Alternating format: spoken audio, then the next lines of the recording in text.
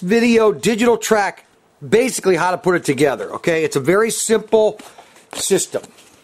You just slide the track together like this. See how it just slides together? But, here's the but. If you don't do it right and you put it together kind of on an angle, you see when I put it together, you see that little bind right there? Okay, and I put it together upside down. What happened was I was at a tilt and it caught that little bind. So when you lay that on the ground, you see how that's going to be a bind? You want to make sure that you, after you've put your track together, that you go underneath and make sure that those little clips are snug inside the little cup there that are designed for it. Now the other side doesn't have it. It's just one side. It's just basically how the track is designed, okay? So basically when you put the track together, I try to kind of put it together kind of like at that angle instead of like this angle, okay?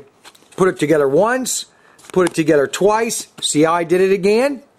I want to make sure that, eh, because that will have a adverse effect on your track on, on it running, okay? So that's a key point in making sure your track runs smoothly and correctly, okay? That's a big issue when you're putting your track together, okay?